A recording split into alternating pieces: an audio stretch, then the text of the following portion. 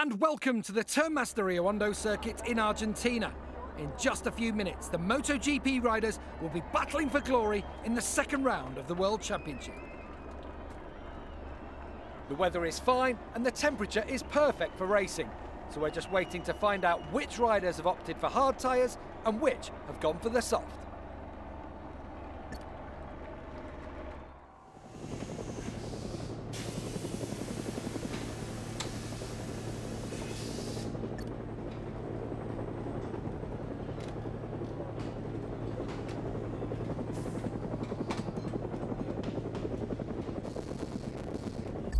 Bikes have taken their places on the grid. The light is about to go out any second now. This is when the riders have to clear their minds completely so they can give it everything they've got.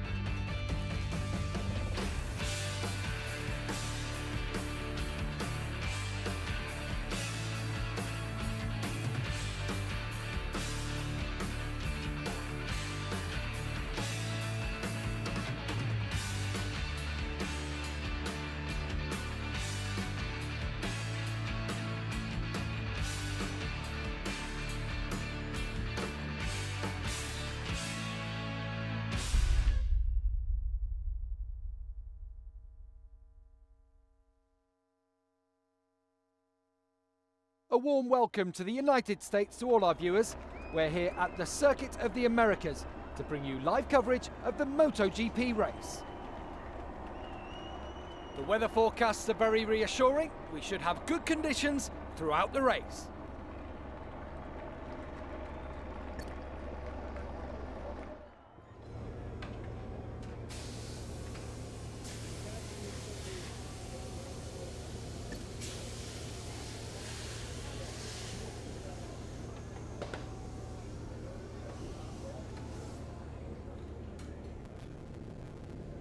It's the Grand Prix of the Americas, mere seconds remaining now, and the riders know that here, the way they tackle that first corner is going to prove crucial.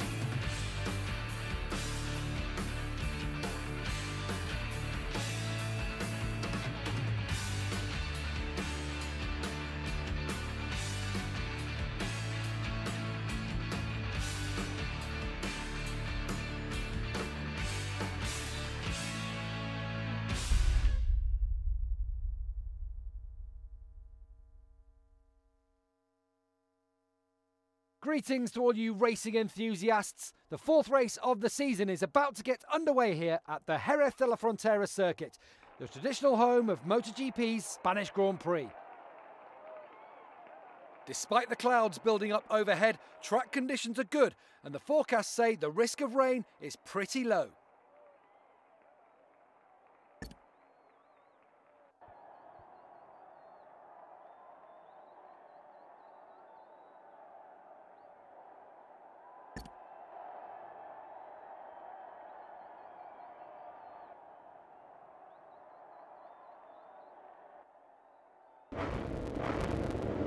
So the race is about to begin, and the riders know that all the hard work they've put in won't mean a thing if they can't cross the finish line in one of the positions that counts.